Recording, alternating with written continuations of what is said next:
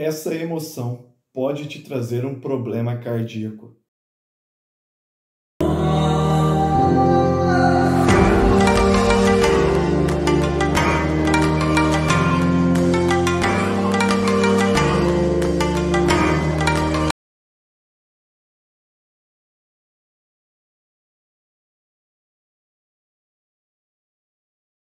Fala galera, tudo bem com vocês? Aqui é o Anderson do canal Visão Holística. Nesta semana farei cinco vídeos explicando as cinco emoções da medicina tradicional chinesa, segundo os conceitos aí da teoria dos cinco elementos, tá ok? E nós vamos começar então a conhecer qual é a emoção que em desarmonia, tanto para menos quanto para mais, pode promover problemas cardíacos. Se você já gostou da pauta desse vídeo, já deixe seu like, se inscreva no canal se ainda não for inscrito e ative o sininho de notificações. Bom, para falar desse conteúdo, eu preciso citar que vamos entrar aqui em conceitos da medicina tradicional chinesa. É, o que eu vou falar aqui nós não vemos é, na medicina ocidental. Porém, na prática clínica, nós encontramos essas relações claras absolutas ali na nossa frente quando nós estamos tratando, cuidando dos nossos clientes. Ah, e para falar em tratar dos nossos clientes, se você quer se aprofundar, o link do meu curso de reflexologia podal chinesa está aqui na descrição. Fique à vontade, porque é um curso bem descontado e completo. Feito para você que quer iniciar essa carreira, feito para você que quer se aprofundar também nos conhecimentos, porque é um curso que te leva do iniciante ao avançado, tá bom? Então, o link está aqui na descrição. Pessoal, vamos entender então a teoria dos cinco elementos, tá? A teoria dos cinco elementos explica que existem esses cinco elementos na natureza que regem as transformações da natureza e que também regem as transformações no homem, tá? Porque o que acontece na natureza acontece em nós, acontece em você que está aí me assistindo. Deu para entender? Então vamos lá, quais são os cinco elementos? Madeira, fogo, terra, metal e água. Esses são os cinco elementos. Existe um ciclo de geração, tá? Eu não vou explicar o ciclo de geração, mas vou citar ele aqui. Vamos lá, madeira gera fogo, fogo gera terra, terra gera metal, metal gera água e a água gera a madeira. Então é um ciclo infinito e existe um ciclo de dominância, tá bom? Qual seria esse ciclo de dominância? Madeira domina terra, terra domina água, água domina fogo, fogo domina metal, metal domina madeira, recomeçando todo o ciclo.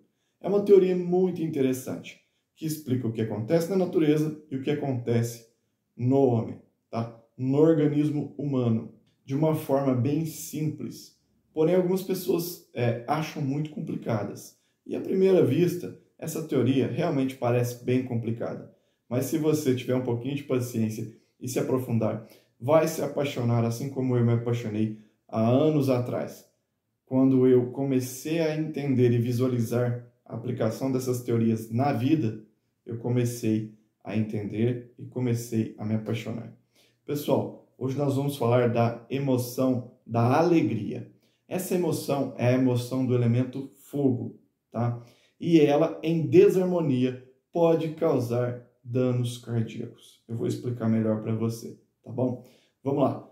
Alegria é uma sensação boa que a gente tem, é uma emoção maravilhosa que nós temos. Porém, quando essa alegria vira excesso, ela se torna euforia. Você conhece pessoas que riem de tudo? Pessoas que passam o tempo todo rindo Veja só o que pode acontecer. Uma pessoa que ri de tudo e uma que vem aqui e desagrada essa pessoa. Ao invés dessa pessoa reagir, falar algo, ela ri. Ela dá uma risadinha meio sem graça, tudo ela ri. A defesa dela é aquela risada. Esse aqui é um caso de que a risada já não é mais alegria, tá? É um desespero que a pessoa tem. Ela não consegue é, se impor, ela não consegue se colocar nas situações. E isso internamente afeta ela. Outro caso, a falta extrema de alegria. A falta extrema de alegria dá brechas às tristezas, às depressões e a falta de alegria também pode prejudicar o seu coração. Por que, que eu estou falando isso? Segundo os conceitos da medicina tradicional chinesa, a alegria pertence ao elemento fogo e o órgão regente do elemento fogo é o coração. A víscera é o intestino delgado. Vamos aqui nos atentar ao coração. Tanto para excesso quanto para deficiência de alegria, quem sofre é o coração.